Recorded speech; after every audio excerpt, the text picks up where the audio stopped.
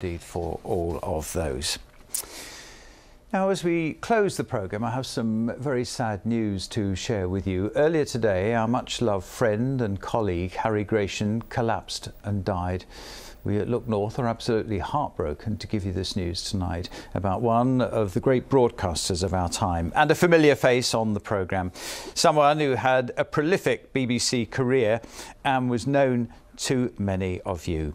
Tonight, our hearts go out to Harry's wife, Helen, and also their three boys and all of Harry's family and friends. Good night.